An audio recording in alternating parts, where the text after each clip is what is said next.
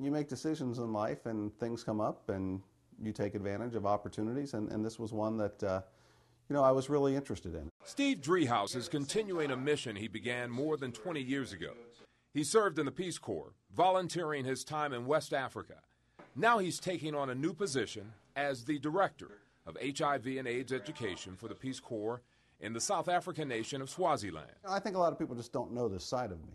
You know, I, you know, I speak an African language. I, I served two and a half years in the Peace Corps. I, I ran a program after graduate school in Southern Africa. The former lawmaker will spend about two and a half years there with his wife and three children. He leaves in June. They join him in July. I just want to, you know, kind of open the eyes of the kids and help them see that, you know, there's another world out there, a world that's not like we live. In fact, Swaziland has the highest percentage of AIDS cases in the world. It's 27% of all adults are infected with HIV or AIDS. It's estimated, you know, in a country of only 1.2 million people that up to 100,000 kids are either orphaned or on the verge of being orphaned. As far as politics, he'll never say never.